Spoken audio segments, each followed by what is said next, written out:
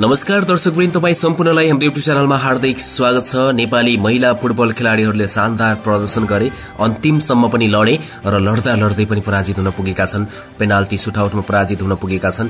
र यसको लागि नेपाली महिला खेलाड़ीहरूलाई हौसला बढाइदिनुहोला यो पनि जित हो। अन्तिमसम्म भए पनि लडे र निराश भने बनाएनन्।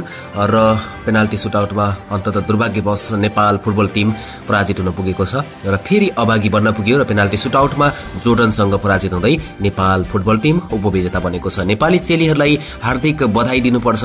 यो पनि एउटा सफलता नै हो। नेपाली चेलीहरूले आफ्नो बलबुटामा यसरी प्रदर्शन गरे यसरी लडे यसरी भिडे जोर्डनलाई पनि यति गाह्रो भइरहेको थियो। एक समय त लागिरहेको छ कि नेपाली महिला टोलीले जित निकाल्ने चाहिँ यहीँबाट नै तर खेल चाहिँ अन्तिमसम्म गयो। हुँदा हुँदा अन्त्यमा पेनाल्टी सुटआउटमा गेम धकेलियो र त्यहाँनिर नेपाल चुक्न पुग्यो र जोर्डनले जित हात पार्न पुग्यो र नेपाल दुर्भाग्यवश पराजित हुन पुग्यो। हुन त यस खेलमा विभिन्न कारणहरू छन् विभिन्न घटनाहरू भए त्यस कारणले गर्दाखेरि पनि नेपाल पराजित हुन पुगेको जहाँसम्म लाग्छ पहिलो दुर्भाग्य त हाम्रो लागि सावित्रा भण्डारी साम्बा नहुनु नै एउटा दुर्भाग्य थियो। एउटा हारको मुख्य कारण नै भन्नुपर्छ होइन? अनि त्यस्तै अर्को कुरा चाहिँ के छ भन्दाखेरि प्रीति राई जुन शानदार खेलाडी थिइन् हाम्रो प्रीति राई पनि चोटको कारणले गर्दा बाहिर हुँदाखेरि नेपाली टिमलाई धेरै ठुलो झट्का लागेको थियो र घाटा पनि भएको छ। यहाँनिर उपविजेतामा चित्त बुझाउन पुगेको छ। तर केही छैन नेपालले राम्रो प्रदर्शन गरेको हो। यो किसिमको प्रदर्शन अझै पछिसम्म पनि रहिरह्यो भने नेपाली महिला फुटबल टोलीले धेरै राम्रो गर्न सक्नेछन् र धेरै आशाहरू जोगाएका छन् यहाँबाट र धेरै अगाडि पुग्न सक्नेछन्। यिनीहरूमा चाहिँ अखिल नेपाल फुटबल संघ एनफाले लगानी गर्नुपर्छ। नेपालमा स्पोर्ट्सको क्रेज यति धेरै छ र नेपालमा फुटबलको क्रेज यति धेरै छ। त्यस कारणले गर्दा यी महिलाहरूले अन्त्यसम्म लडे आफ्नो देशको लागि मरिमेटेर खेले तर पनि पराजित हुनु खेल हो हारजित हुन्छ। यसमा चाहिँ हामीले हौसला बढाउनुपर्छ। यी महिला खेलाड़ीहरूको लागि यति शानदार प्रदर्शन गरे आफ्नो देशको लागि अन्त्यसम्म पनि लडे हार कतै पनि मानेनन्। नेपाली वीर गोर्खालीका सन्ततिहरू यी नेपाली वीर गोर्खाली चेलीहरू यी अन्त्यसम्म जोडन जस्तो बलियो राष्ट्रसँग र डिफेन्डिङ च्याम्पियनसँग यसरी लडे यसरी लडे कि एकपटक त उनीहरूको पनि हावा निक्लिसकेको थियो कि नेपालले जित्छ भनेर। उनीहरू एकदमै आवेशमा आउने नेपाली खेलाड़ीहरूलाई ढक्कामुक्की गर्नेसम्म पनि भइरहेको थियो र जोर्डनले एकदमै फल्ट पनि खेलिरहेको थियो तर पनि नेपाली खेलाड़ीहरूले कहीँ कतै हार मानेनन् कहीँ कतै गएनन् र अन्त्यसम्म खेललाई लगेर गए। हुन त पेनाल्टी सुटआउटमा चाहिँ पेनाल्टी मिस्ड भयो र त्यहाँनिर नेपाल फुटबल टिम पराजित हुन पुगेको छ।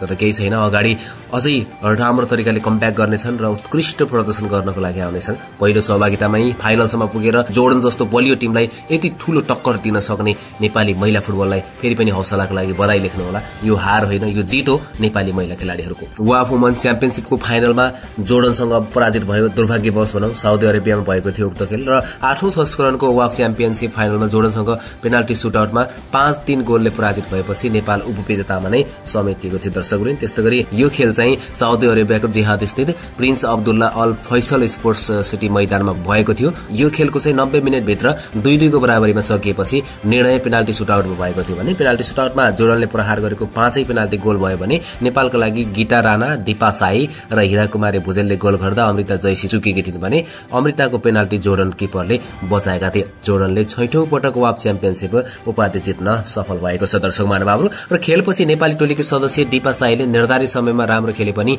पेनाल्टीमा पुगेर पराजित हुनु परेको भन्दै भावुक बनेकी थिइन् र उनले सावित्रा भण्डारीलाई मिस गरेकी थिइन्। हामीले नब्बे मिनटमा फाइट गर्यौं राम्रो गर्यौं तर खेल पेनाल्टीमा गयो। हामीले चाहिँ साम्बा दिदीलाई मिस गर्यौं पेनाल्टी खेलको पार्ट हो र हामी पराजित भयौं। सबै समर्थकलाई धेरै धेरै धन्यवाद भनेर उनले पनि भनेकी थिइन्। भने नेपाली टिमका नियमित सदस्य तथा मुख्य गोलकर्ता सावित्रा भण्डारी क्लब ड्युटीका लागि फ्रान्स गएपछि मुख्य प्रशिक्षक राजेन्द्र तामाङले नेपालको प्लेङ एघारमा तीन परिवर्तन गरेका थिए। सावित्रासँगै अनिता बस्नेत अनिता केसीको साथमा रश्मि कुमारी गेसिङ दिपा साई र सविता राणा मगर पहिलो रोजाइमा खेलेका थिए। प्रतियोगिताकै सर्वाधिक नौ गोल गरेकी सावित्रा भण्डारी नहुँदा नेपाली टिममा त्यसको असर प्रशस्त मात्रामा देखिन्थ्यो। केही समय अघि मात्रै फ्रेन्च क्लब इए गुइगाम्पमा अनुबन्ध हुँदै फ्रान्सको लिग खेल्ने पहिलो नेपाली फुटबलरको इतिहास बनाएकी सावित्राले नेपाललाई फाइनलसम्म पुर्याउन महत्वपूर्ण भूमिका निर्वाह गरेकी थिइन्। त्यसकारणले गर्दाखेरि पनि सावित्राको यस फाइनल खेलमा अभाव खड्किएको थियो। उनले समचरणमा इराक विरूद्ध ह्याट्रिक सहित पाँच गोल गरेकी थिइन् एक्लैले। सेमी फाइनलसम्म चार खेल खेलेकी सावित्राले नौ गोल गर्न सफल भएकी थिइन् र उनी सर्वाधिक गोलकर्ताको शीर्ष स्थानमा रहेकी छिन् र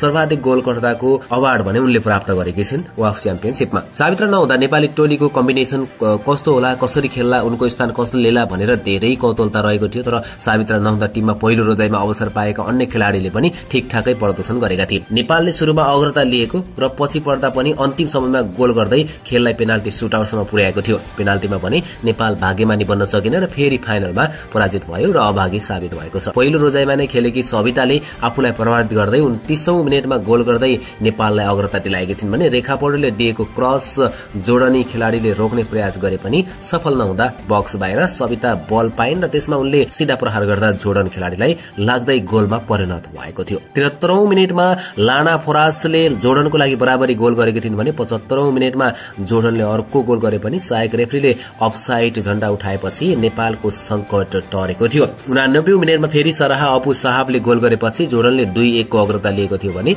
र जोडन जित नजिक पनि पुगेको थियो तर इन्जुरी टाइमको पहिलो मिनटमा नै जोडनी खेलाड़ीले बक्समा ह्यान्ड गरेपछि नेपालले पेनाल्टी पाएको थियो र त्यसमा गीता राणाले गोल गर्दै खेल दुई दुईको बराबरीमा पुर्याएका थिइन्। नब्बे मिनटपछि भने खेल सिधै पेनाल्टी सुटआउटमा गएको थियो। निर्धारित समयमा कडा फाइट गरे पनि पेनाल्टी सुटआउटमा नेपालले पराजित हुन पुगेको छ।